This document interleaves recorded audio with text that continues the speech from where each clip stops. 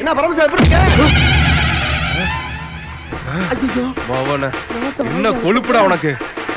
ஏன்டா வாயில கட்ட பார்த்தாதா அடிச்சுதான் கேட்கணுமா? இப்ப நான் அடிக்கிறேன்டா.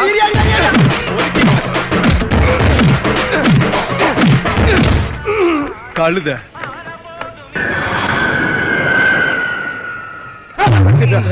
அண்ணே அவன் அந்த அடி அடிச்சுட்டு போறான் அவன் அந்த அடி அடிச்சுட்டு போறான் வாங்கிட்டு சும்மா நிக்கிறீங்க? அடின்னு எவன்டா